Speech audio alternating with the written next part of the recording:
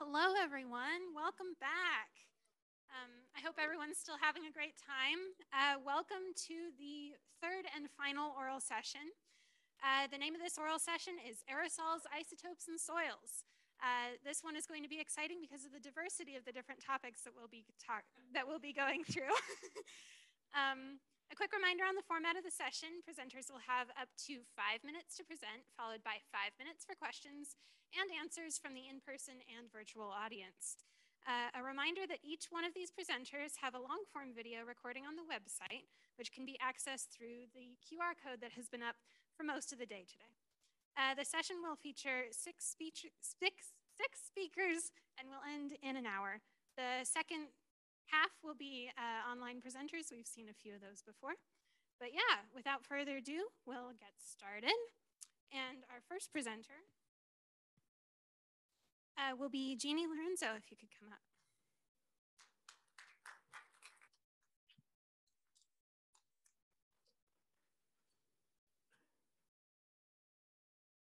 Hello, good afternoon. Can you hear me? Hello. How about this? Okay. Okay. Um, so um, many years ago, um, I was able. To, I was a, a research assistant, and I was able to help set up um, an Aeronet sun photometer in Manila Observatory. I'm thankful that many years after I'm here presenting the data. So I come from a place in Southeast Asia called Metro Manila, which has very high air pollution, uh, very bad air pollution. So that's why we're actually motivated to do stuff about air quality. Um, we're also in a region where there's a lot of emerging cities and possible um, aerosol sources in the future. Um, therefore, we also want to be able to see um, how those sources actually interact with regional meteorology. And so hopefully our study is also able to help in aerosol mo modeling in the region. We used, um, aside from Aeronet data of 10 years, some model data as well as um, reanalysis data, as well as satellite data to be able to look at monthly aerosol profiles, as well as look at possible air masses and also how these actually interact with regional um, air masses, not just the things we see in Metro Manila, but actually regional stuff. Um, so in this, uh,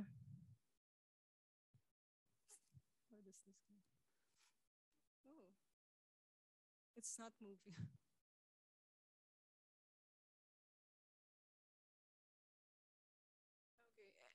anyway, there. So um, the red bar shows that actually a, a, lot of the particles in Metro Manila are 80% small or fine fraction, probably long range transported coming from um, perhaps in the area of Borneo um, around August. And in green, the largest particles, around 50% only small particles, are probably coming fr from the ocean north northeast region um, that are probably, and that we see based on the AeroNet parameters are hygroscopic. So these are long range transported stuff that we see in Metro Manila.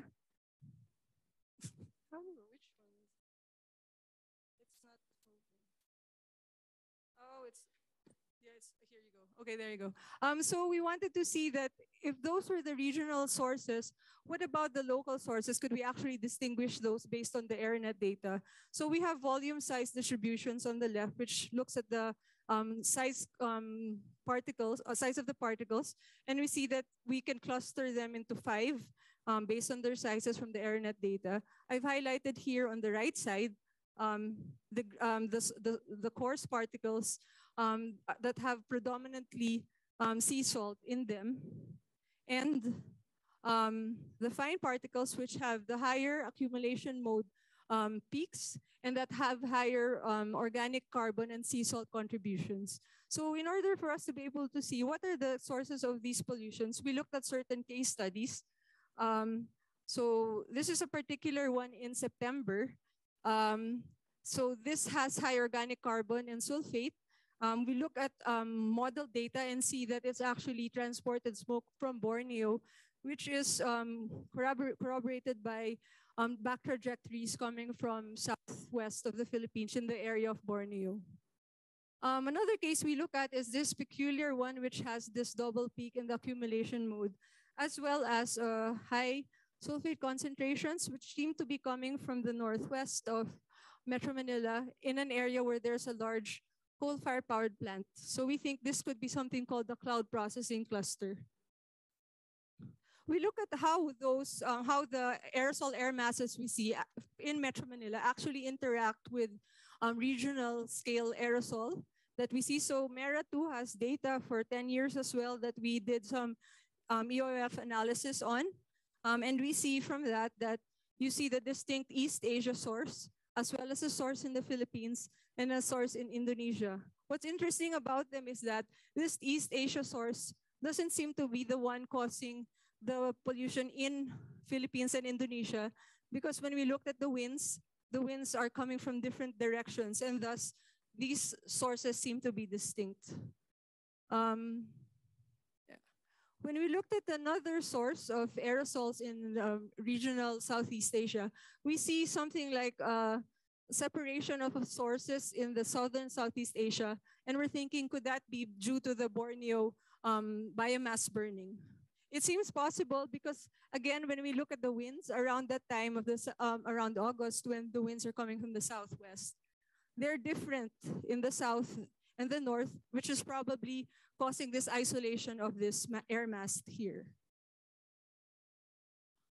Um, so uh, as a first step, it's very interesting to see that in Metro Manila, even if 60% of the time um, it's actually a background marine source because it's an island, um, the 20% of the local is already very bad because I live there and I think that that's happening all of the time. But in fact, the air pollution local is only 20%.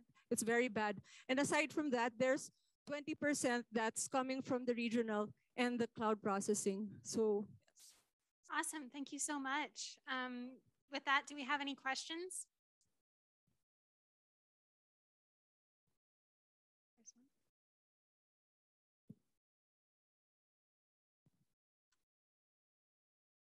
Thank you, Jenny. Uh, just very quick question with regards to your pie chart. Uh, these are coming from MERRA too? Um, the pie chart is coming from the Aeronet. The Aeronet. Uh, the, the, so we did the Aeronet data, and then when we did the um, clustering of the air masses, then we figured out based on all of those 10 years from how much of that is actually attributing attributed to the each air mass. Okay, I'm just wondering, uh, I was just curious if, if MERRA 2 actually underestimated emissions over Metro Manila. Ah, I, I would assume that they would uh, um, underestimate the emissions in Metro Manila just because of the large grid size. Um, but it's interesting to see that MERRA 2 actually saw the sulfate source in the northwest of Metro Manila. So that's something interesting eh, because I guess it's very large. Right, great question. We have another question in the chat.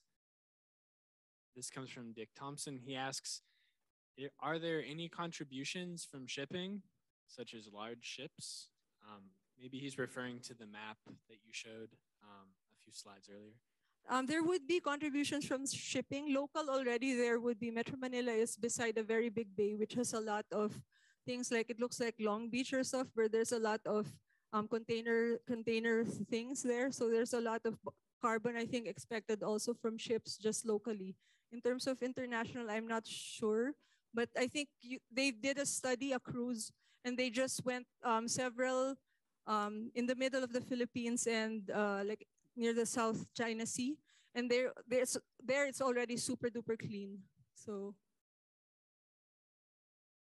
not much international ship travel here, not like like Atlantic Ocean. Awesome. Thank you so much uh, for participating online. We have another question over here. Over here.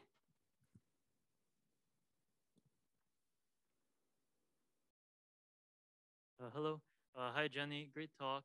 Um, I was wondering about this pie chart. Like, how do you expect it to change between the um, two seasons in the Philippines? Oh, yeah. So the change in the seasons will probably bring. Um, so the southwest will bring the uh, winds from the uh, the smoke from Borneo, and the northeast will probably bring some of the stuff from East Asia. So not just the ocean, but probably mainland East Asia, including industrial and actually smoke emissions from Indochina Peninsula. Thank you. Awesome. We might have time for one more quick question, if anyone has one. And with that, uh, we'll move on to our next speaker, Mustafa. Thank you very much, Jeannie.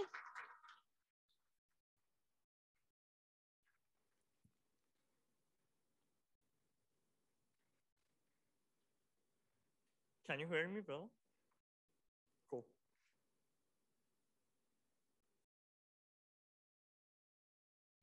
So hello everybody, I am Mustafa Javadian, a PhD candidate in hydrology working with Ali Behrangi. So my presentation is not about aerosols, or isotopes, or soils, it's about plants. So let's, let's go with that. Uh, so my presentation title is Canopy Temperature is Regulated by Ecosystem Structural Traits and Captures the Ecohydrologic Dynamics of a Semi-Arid Mixed Conifer Forest. We recently published this work in JGR Biogeosciences. So, uh, so generally, canopy temperature uh, can, can directly re uh, related plant physiology, ecology, and function, and they are both used in water and carbon fluxes. And they can be uh, be obtained from leaf to global scales, and they can be used to assess impact of climate change on ecosystem. So uh, in this study, we used canopy temperature to capture diurnal vegetation water stress over Mount Bigelow eddy covariance flux tower site near Tucson. Uh, that if you if you see our instruments here, uh, we have the, the Mount Bigelow eddy covariance flux tower, ECOSTRESS satellite, some thermal drones that we have, uh, we had some flights over there, and a network of three sap flow sensors that are uh, that, that we use them as an index of plant transpiration in that region. Uh, and also PRI sensor that can be used as an index of transpiration and plant uh, physiology. Uh, uh, we use that data in this analysis too. so this is our our flight plan uh, for this study that we, uh, we targeted a 150 meter by 150 meter box around the, that eddy covariance flux tower to cover the entire footprint of that, of that flux tower. And this is a, a, video of that flight, that RGB flight that we had, but basically we used the thermal uh, data that we had from our drones uh, to get the canopy temperature data. Uh, this is the 3D view of our, uh, of our data that shows for, from two flights. Uh, if you see the, the Mount Bigelow Tower here, if you compare this data with the USGS LiDAR, uh, the, the, the tower is much more obvious in our, in our analysis compared to the LiDAR data. So this shows that the, the, the, the drones can obtain the top of the canopy better than a LiDAR in this case that has been found in previous studies too. Um, so here you can see the diurnal canopy temperature data and canopy VPD, vapor pressure deficit data in different zones, different tree density, and different tree height classes. Using a structure from motion technique, we, we were able to capture the tree height and then, then classify them as different kind of tree height classes like tall, short, and average trees and get the canopy temperature at different scales and compare their temperature. First of all, we found that considering the entire study area, canopy temperature was 1.8 degree cooler than air temperature. The other thing that we found was that, that the canopy temperature minus air temperature was much more different in different tree height and density classes. We found that canopy temperature in taller and denser trees were about two degree cooler compared to shorter and less dense trees. So uh, because of more latent flux that is coming around the taller and denser trees, the canopy, uh, the canopy temperature is much more cooler around those taller and denser trees. And, and that is really impacting the wildfire season in Arizona too.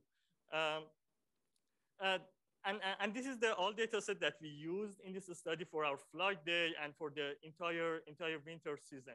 Uh, so in this plot, you can see the tree sap flow data, PRI data, and latent influx data from the tower. And here you can see air temperature, canopy temperature, and air temperature minus canopy temperature. For the entire season, we used ECOSTRESS land surface temperature data as a proxy of the canopy temperature uh, in, our, in our flux tower footprint. First of all, we found that ECOSTRESS satellite LST can, uh, can track the canopy temperature from our drone flight very well. So it is, it is really great that we can have that kind of data uh, as, a, as a kind of satellite data. And, and generally we found that flux tower data are not sufficient to partition evaporation and transpiration, but spatial thermal data, including thermal UAS and ECOSTRESS are able to capture that better than the flux tower data. And as a conclusion, uh, uh, we, uh, we, found that canopy temperature and VPD differed significantly among different tree height and density. classes and diurnal canopy temper temperature data were closely uh, related to PRM, plant hydraulic and finally, satellite observation from ECOSTRESS capture the diurnal vegetation water source very well. Uh, and as a future direction, we, we, recently installed a fixed thermal camera over the Mount Bigelow to get continuous 10 minute interval thermal images to have a have a complete uh, diurnal cycle in our region that we can investigate later. Thank you so much. Awesome, wonderful presentation. Once again, do we have any questions from the audience?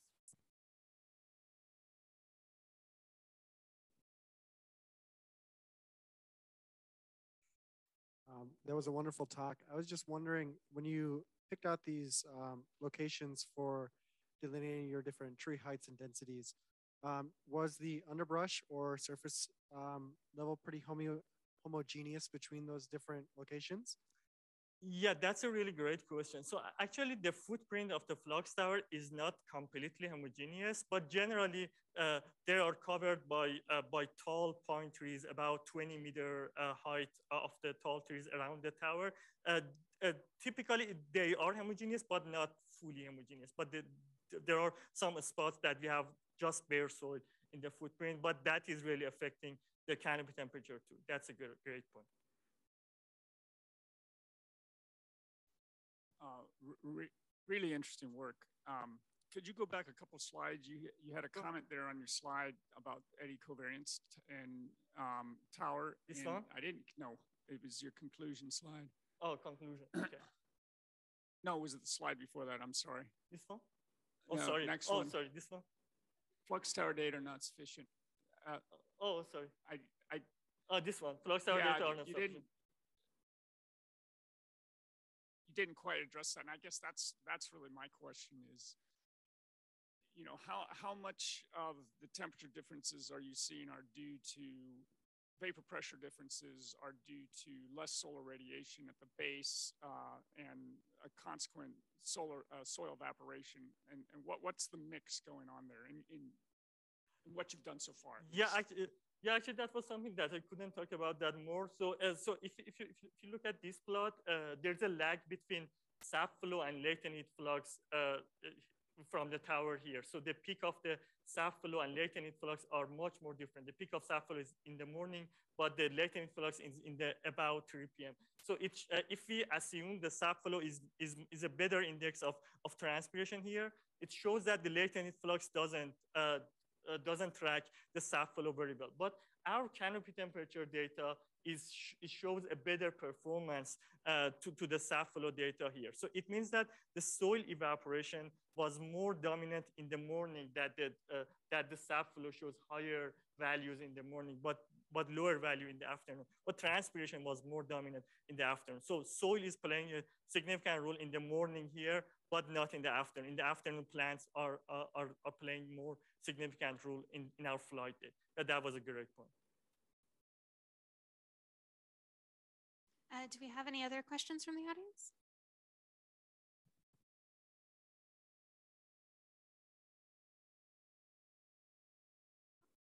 There we go. We have one back there.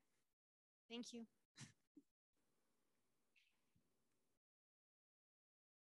Um, perhaps, I, I, mean, I hope I understood this well enough to ask a question. First of all, I really enjoyed it. Um, is it, so it seems like you're using this to adjust based off of the eddy variance, eddy covariance. Would it be possible, like the eddy covariance towers are expensive and they're like individual index locations to like use this in locations without an eddy covariance tower to provide an estimate once you have collected enough data, or uh, is that not possible? Yeah, uh, that's a good question. So uh, actually, because uh, uh, because flux towers are measure many many variables in a kind of a standard way, it's a it's a really great way to to examine many kind of these hypotheses in the in around the flux tower because you can compare your uh, uh, your data with the flux tower data very quickly. But in the other cases, uh, there is no validation points to do that. So because of that, we use uh, that the footprint of the flux tower because there's a kind of standard way to measure the temperature at different heights and the, uh, measuring latent flux that it, it would be very difficult to do that outside the footprint of the flux tower. Yeah. Wonderful. Well, let's thank Mustafa again for his presentation and his time. Um, and with that, we have a slight change in the schedule. So just to keep online with online and in person with in person, uh, next up, we'll welcome Diana.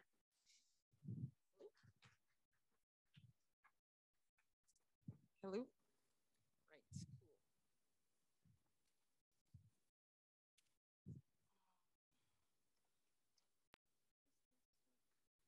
So, okay. Hello, everybody. Is this hello? Uh, my name is Diana Shea, and today I'm going to be presenting my research regarding the effects that rock dam detention structures have on recharge of groundwater. Uh, I'd like to start off by setting the stage for why this research is important. Last year, I did a literature review about the groundwater decline in Willcox, Arizona, and I found that they were using up their groundwater faster than they were recharging it. This was causing problems such as uh, land fissures, land subsidence, and uh, residents' wells drying. Uh, this problem has been exacerbated by the fact that Willcox does not regulate their groundwater. They're not part of an active management area, and it made it really attractive for large agricultural companies to move in from out of state. Um, and so, with groundwater depletion imminent, um, researching ways to improve local recharge is important. And so, this is where rock dams come into play. And I'm researching the effects that these rock dams have on recharge of groundwater in two ways. The first way is using water chemistry analysis and isotopes. And the second way is modeling using Hydrus 1D through Python. And so I'm going to give a quick overview on how water chemistry and isotope data uh, can help us learn more about our water. So for water chemistry data, we're interested in the major cations and anions that are dissolved in our water. And so the longer that our water sits in the subsurface, the more evolved its uh, ions become. So what that means is the longer that groundwater sits in the ground, the more we would expect our ion concentrations to increase. Uh, for our isotopes, we're looking at radioactive isotopes, and specifically in this case, we're using tritium. Uh, radioactive isotopes are isotopes that decay into another atom over time. So it can help inform us on how, the relative age of something. So for here in this map, you can see that there's four locations presented here. I took six samples uh, over these four locations. I'd like you to notice that uh, the samples here, they're all within about a mile of each other, pretty close. Uh, and specifically, if you pay attention to our rock dam of interest here, labeled LWU on this map, it is about 80 meters upstream of Krabi Well. And our assumption is if this rock dam is retaining the water long enough to allow for active recharge, we would see it in Krabi Well.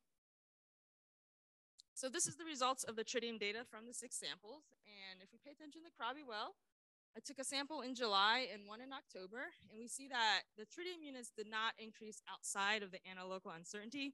And so this is evidence that Krabby Well was not recharged over that last year's summer monsoon season. And the four other samples here have tritium units much higher, indicating that they likely contain some rainwater, especially the 6.4 tritium unit value.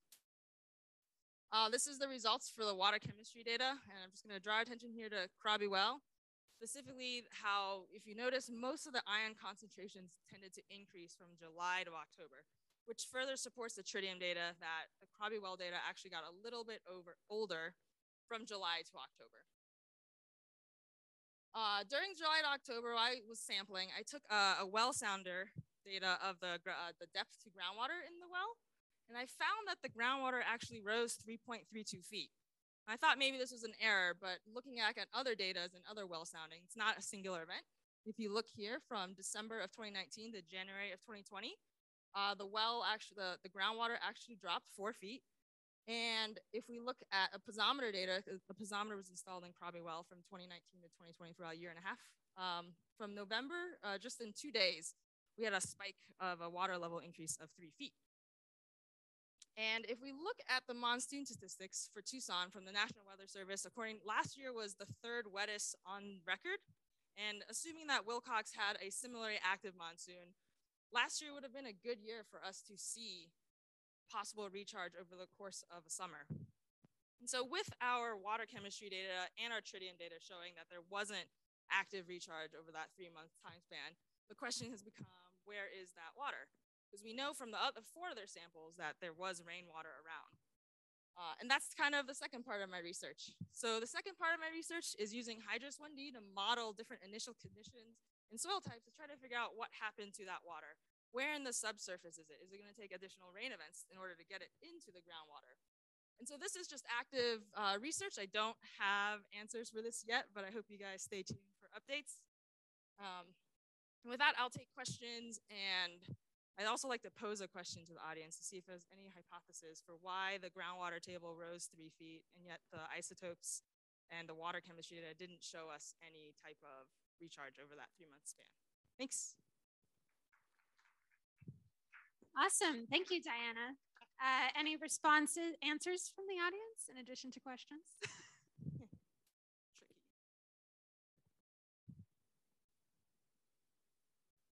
Looks like we have a question back there. The screened interval on Krabby Well, is it in the bedrock or is it in the alluvium? I, I didn't hear.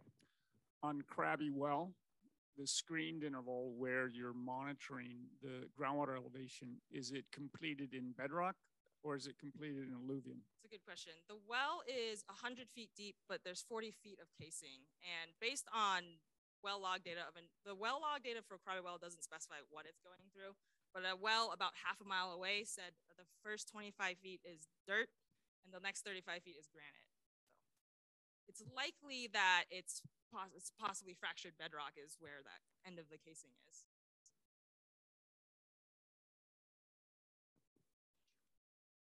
So it, it, it unless it's completed in the alluvium, you are not likely to see a response from recharge events that are influenced by the rock dam that are above it. Because the water could be coming from a fracture set from somewhere else. Like preferential flow because of the fractured bedrock.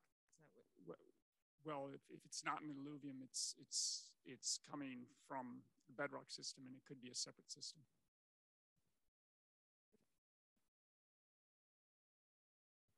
All right, we got one answer to your question. Um. Any other questions from the audience? We have one from online.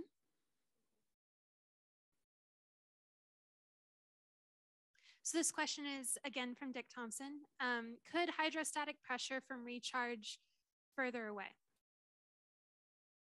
Good hydrostatic pressure from? It's phrased a bit strangely, but yes, could hydrostatic pressure from further away cause recharge? Oh, okay. Something I'll I'll look into. Yeah. My thought was that I mean, with, for such a, a rapid increase, it's not it's it's not it's likely not a slow move. Whatever is causing this this jump these jumps. I mean, my thought was maybe fractured bedrock, but I thought other people would know better too. So.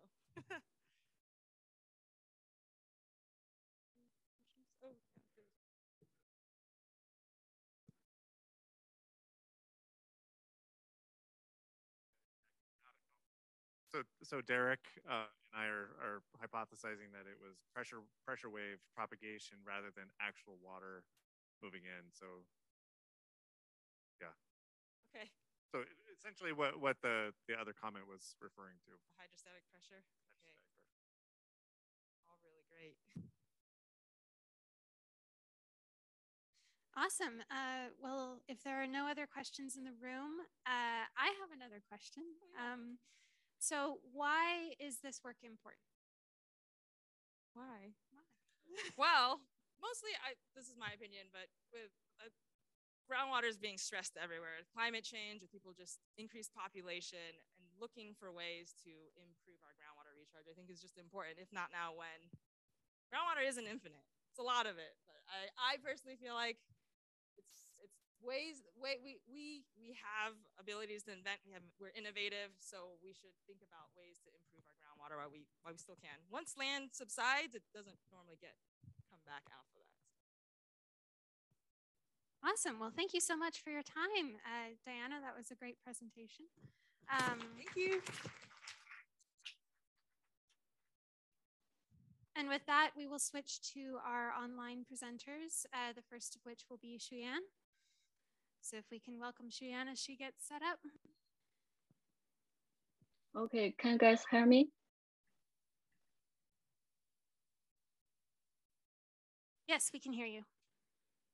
Great.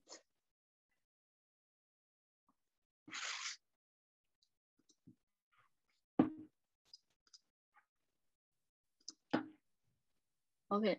Hi, uh, I'm Xue Yan, a PhD student co-advised by Guoyue and Xu Today, I'd like to present our recent, recent modeling work about interannual variability of plant carbon uptake in the central US. Plant can absorb 60 gigaton carbon per year and offsets one third of the anthropogenic emissions globally.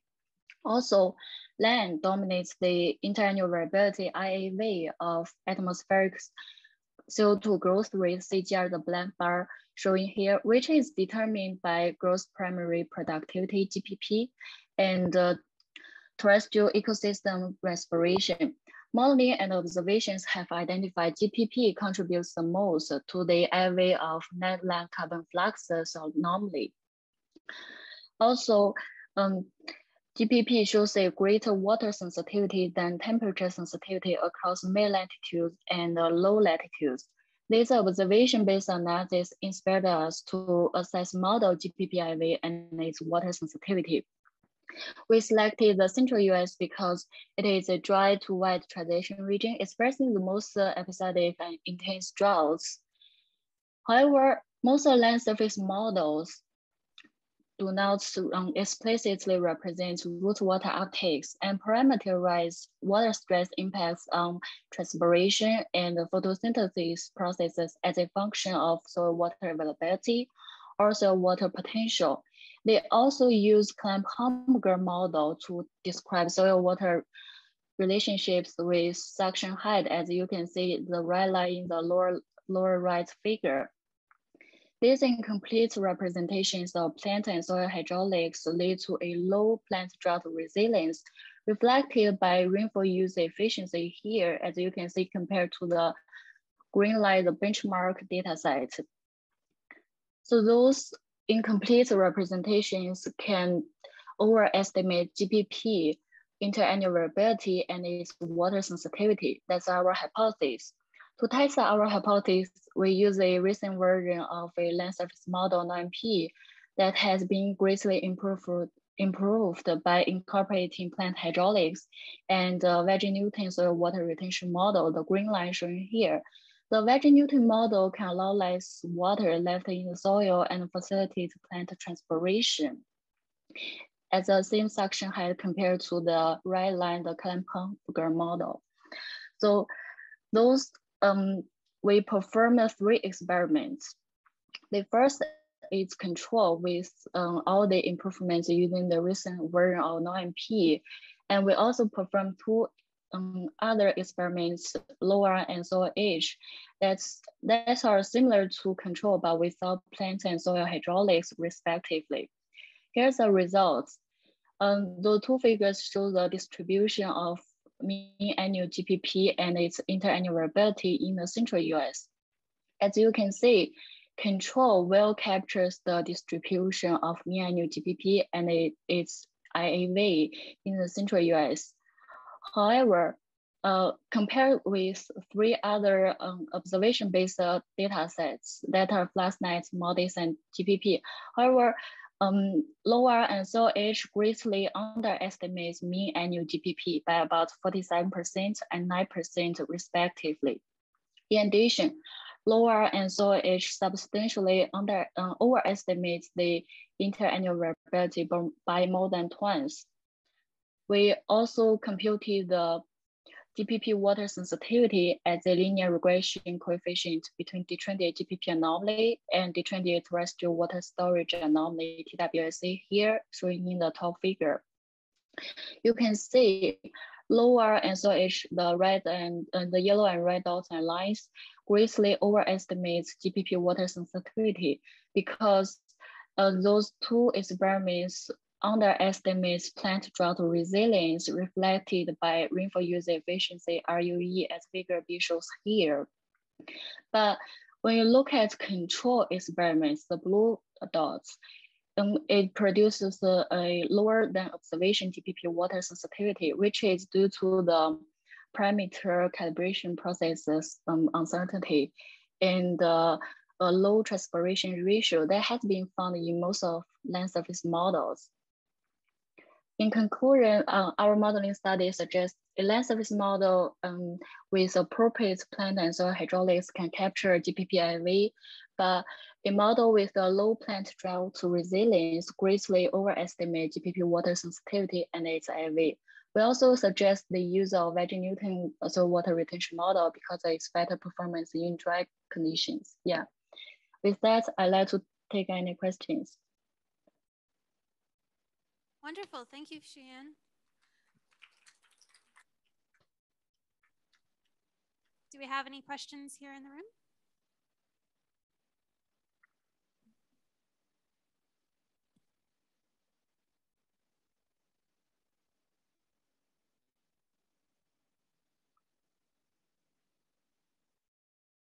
There we go. We have one.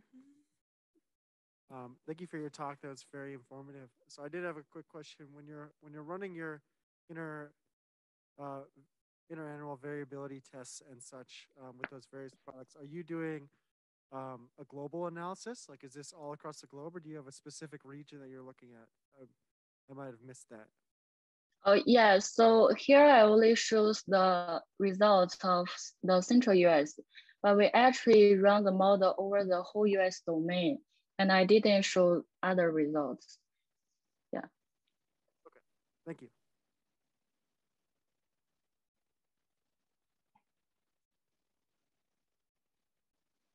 Any other questions?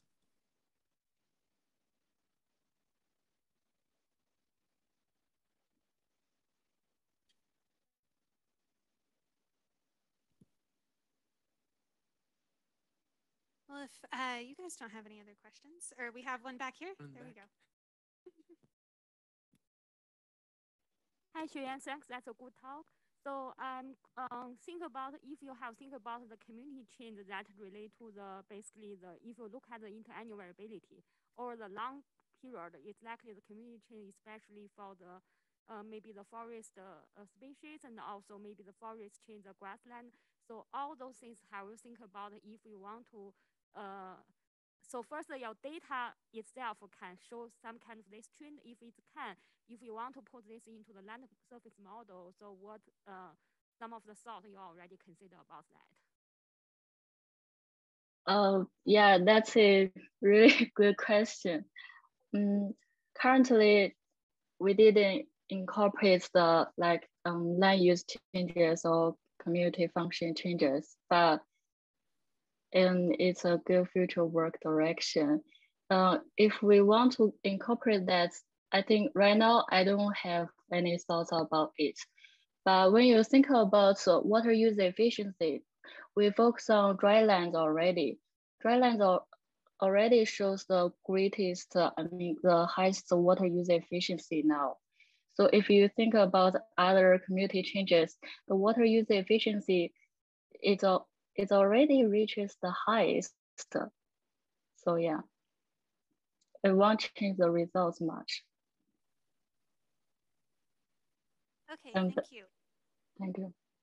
Um, if we don't have any other any other questions in the room, uh, I did want to ask you real quick. Um, what of your what aspect of this research do you think distinguishes it from other similar research? Oh, yeah. So I believe to my knowledge, this is the first study like um, exploring the dominant process controlling models uh, like GPP water sensitivity and its interannual variability. Other studies most likely just look at the mean values, not the interannual variability, and did not explore deeply about the process me uh, or mechanism controlling IAV. Wonderful. Well, thank you so much for your time. That was a wonderful presentation. Thank you. Um, So let's give a round of applause for Shiyan.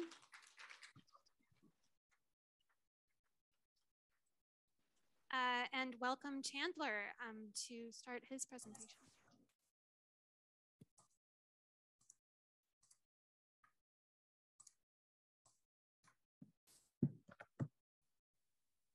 All right, can you see my slides?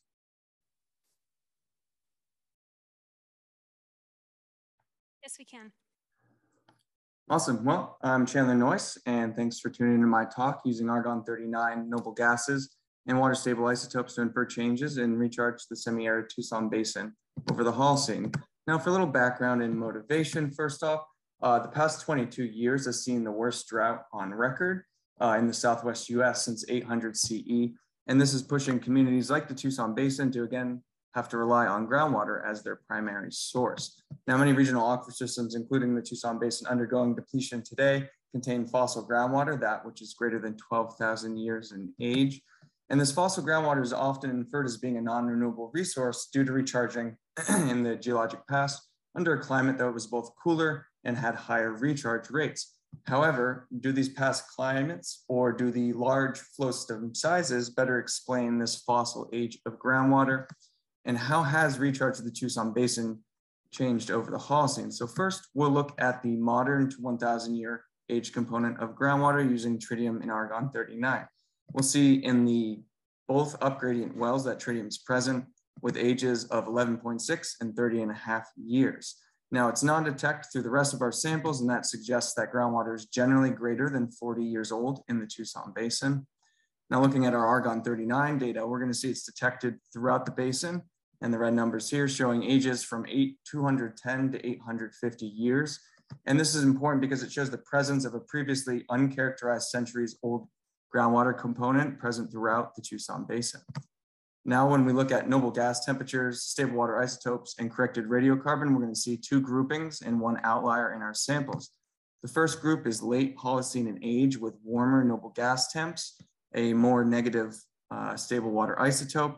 And our second group, however, is going to be early to mid Holocene in age with a cooler noble gas temp and a more negative stable water isotope signature. And then finally, we have one outlier sample.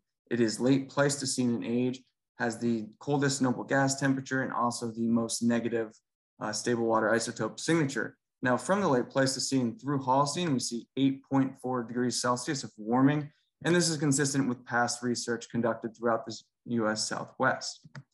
Um, our changes then that we see in stable water isotopes suggest possibly either a change in precipitation source or seasonality of recharge between our Holocene groupings, and finally, the integration of all of these tracers show differences in climate between the early to mid Holocene and our late Holocene samples, as well as the Holocene groupings versus the late Pleistocene.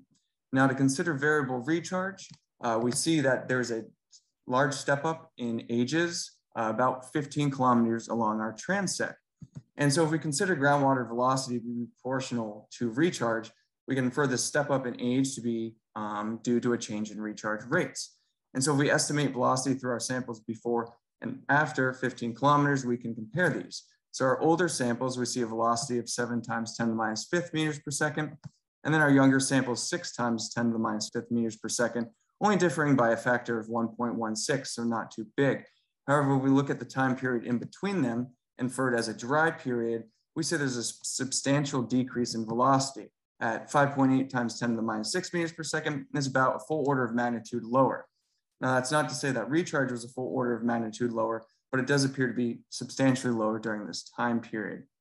Uh, now we'll look at other paleoclimate proxies, including speleothems, lake sediments, and pack rat middens collected throughout Arizona and the US Southwest. A lot of data has indicated that peak aridity in the Southwest US was around 6,000 years ago. However, the data from this study, as well as other studies throughout the Southern Arizona region, suggest it's possibly closer to 5,000. However, if we look at this red box here, Generally, we see across all of our different paleoclimate proxies a warming and or drying trend around six or 5,000 years ago. You'll see that between present and 3,000 years ago, there's not a ton of data. However, if you look at the orange dash box below between zero and 1200, we do have a fairly good data set in Arizona. And this is gonna be a reconstruction of Colorado river flows at Lee's Ferry in Northern Arizona, uh, covering a 1243 year span. Now this record shows a high resolution data set uh, and can pick out kind of those uh, annual decadal changes in flow. And so to look at this, we tried to use our Argon 39 data, which is closest. And you can see the dots are average ages and the bars show error.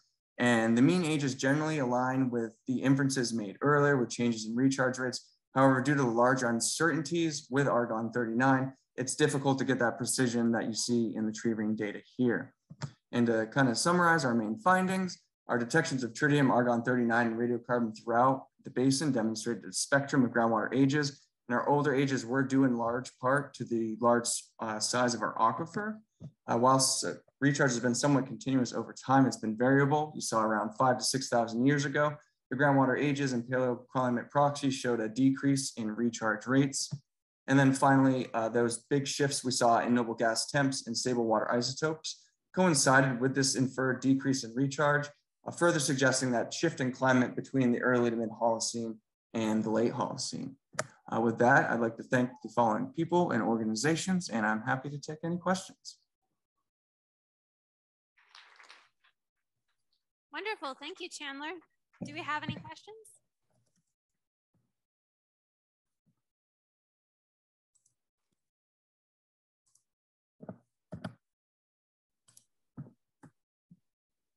So Chandler, do you, do your results imply any specific, say, management changes that Tucson Water or the region need to take in managing the Tucson groundwater basin vis-a-vis our ongoing drought and this historical, this this ability of you to look at the sort of this age of, of groundwater?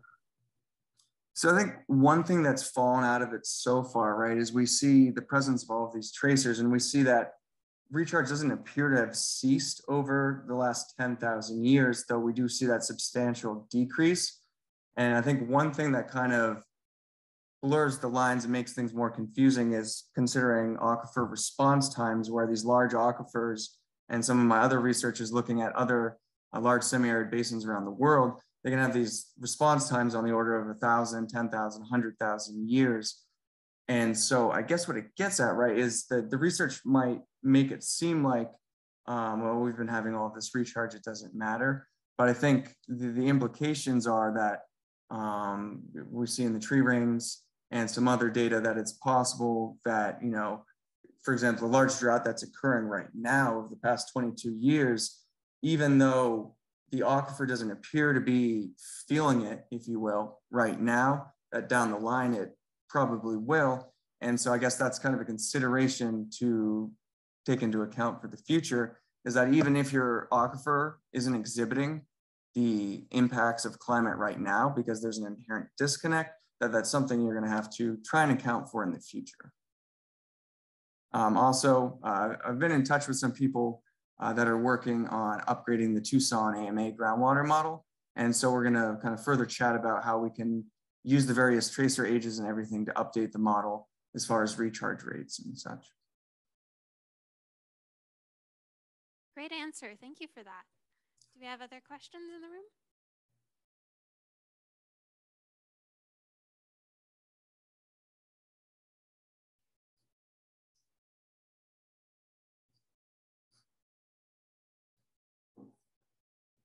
Uh, Chandler, what do you believe is the most important takeaway from uh, your research? It's a good question. Um, I think it was kind of intertwined with the last bit I talked about there is a lot of times a lot of weight is placed on groundwater ages, whether there's modern groundwater present or fossil groundwater present. Um, the age of the water doesn't necessarily mean whether something is renewable or not. You could be pumping a very old groundwater in a very large basin, yet the amount of recharge that basin gets is far more than a very small basin getting less recharge, but it has all modern water. Um, so I think what I've learned most, I guess, over the course of this is not to as far as renewability goes, place kind of all your chips in the corner of groundwater ages. They can be useful in telling you things maybe like recharge rates, um, but not necessarily whether or not the resource is sustainable. Thank you. Another great answer. Um, last call for questions.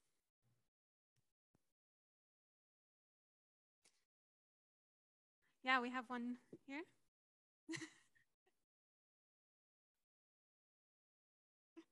was going to say we should give him a round of applause. Um, That's a wonderful comment. Yeah. All uh, right, let's do it. Round of applause for Chandler.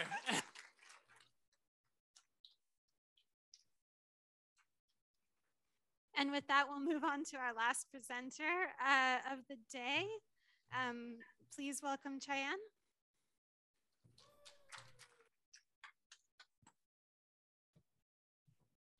Um, can you see my screen?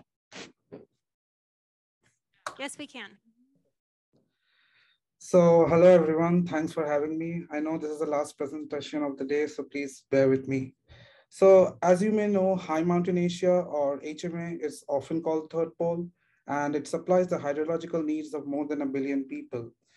So now snow cover is an important component of this need and past studies have attributed its direct relationships with uh, elevation, meteorological parameters like temperature, precipitation, as well as absorbing aerosols. However, separately, the issue is that the response of change in snow cover to climate is complex and most studies focus on the linear relationship between these parameters and snow cover. There are often nonlinear interactions between chemistry and meteorology that have not been sufficiently studied over this region, and there is a need to quantify these interactions. If we look at the snow cover fraction from satellite-based MODIS and the European reanalysis ERA 5 products, you see there's a strong discrepancy between uh, the snow cover fraction, especially in the high snow covered regions. So this study is an attempt to reveal the complex nonlinear interactions that may account for these differences. And in particular, we would like to uncover the associations between uh, different ERA 5 geophysical parameters and snow cover from the MODIS satellite. So to do this, we built a monthly multiple linear regression model that accounts for interaction terms, as you see here, uh, between meteorology, aerosols, and elevation, in addition to individual variables. We then regress our 27 different parameters with more than 300 interaction terms onto the MODIS snow cover product for a period of 16 years from 2003 to 2018. This is daily data. Um, the result of this regression are that these alpha terms, which we define as relevance. So an attractive property of this relevance metric is that they sum up to 100%, which enables us to assign an independent contribution of each predictor to snow cover variability. Here on the right, you can see um, a spatial overview of some different meteorological and aerosol parameters over our region uh, where we can observe strong spatial heterogeneity with respect to snow cover. So as for initial results for our monthly relevance for both high and low snow covered regions, there is a distinct feature in low snow covered regions during June and July, uh, which is the late snowmelt season. We see an approximately 5% rise in the relevance of aerosol interactions with meteorology. This suggests that low snow cover is sensitive, particularly to aerosol meteorology interactions. We also performed subsequently a series of sensitivity tests for low snow covered regions where we moved, uh, where we basically removed certain predictors from our regression model to see the change in the relevance of these aerosol meteorology interactions. We found that removing aerosol variables decreases the relevance of these interactions, which suggests that not only do these interactions of aerosols with meteorology matter, but the relevance more so lies in the interactions of individual aerosol species with meteorology, particularly carbonaceous and dust aerosols. So as for our key findings, uh, uh, we find that for low snow cover regions, aerosol-related interactions, particularly with meteorology, dominate snow cover variability during the snow melt season. Moreover, species-related interactions are relevant for snow cover instead of just total aerosol loading. And on a related finding, elevation interactions with meteorology are consistently important for snow cover across all months. As for the broader impacts of the study, uh, it lays the foundation of assisting observational systems to monitor relevant drivers of snow cover change. Also, this will enable us to assess the representation of complex snow and climate feedbacks among themselves in different Earth system models and provide observational constraints in modeling aerosol-induced snowmelt in critical regions like HMA. I would finally like to acknowledge the NASA HIMAT grant for making this study possible and my colleagues at the Atmospheric Chemistry Modeling Group here at HAS for their contribution to this work. Thank you.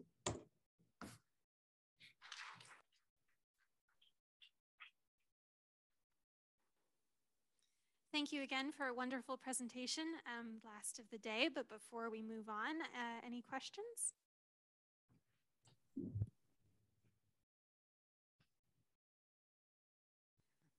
Uh, hi, Cheyenne. Hi. Um, great talk. I, I just had a quick question. So, so your analysis deals with like um, aerosols and their effect on snow cover. Yes. Um, so from what I understand, um, so aerosols can like deposit onto the ground, affecting the albedo and like snow fraction over time. Uh, but they can also have like direct and indirect effects on radiation reaching the snow. So, which one does your analysis focus on? So it basically is more of a b- umbrella type of an analysis. So uh, there is both snow albedo effect, which is snow darkening, and you have the direct effect of just basically raising temperature. So this, uh, the model that I'm using basically uses all of these interactions. So you have, it basically considers all meteorological interactions possible with all my individual aerosol species. Awesome. We have another question over here.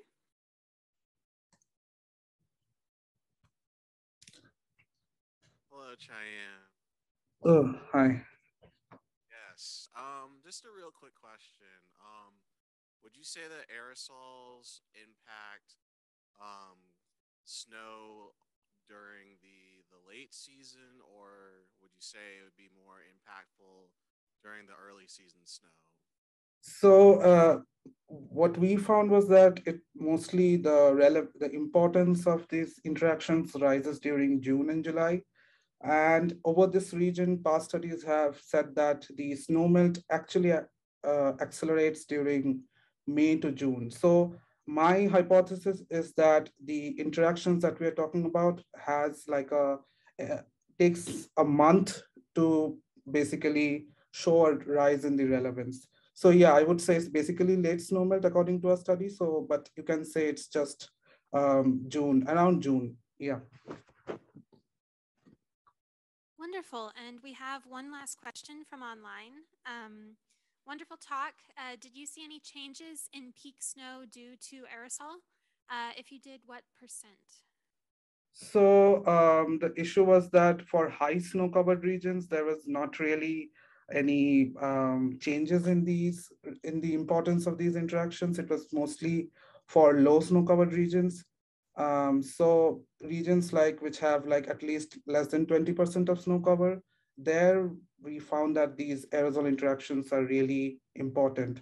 So the peak changes are not really visible as per se.